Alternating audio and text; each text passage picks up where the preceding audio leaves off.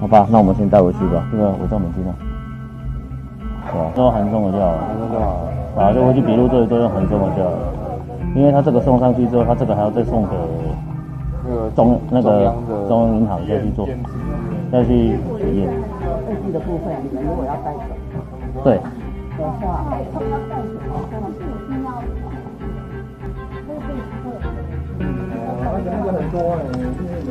好吧，那我们先带回去吧。好，八姐。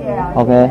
它的美钞的序别是极为粗糙，而且它的编号是为同一个序码。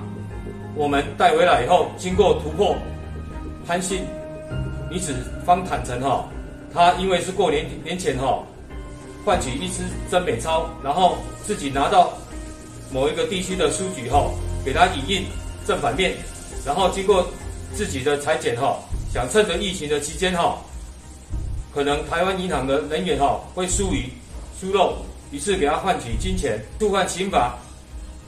可处一年以上七年以下有期徒刑。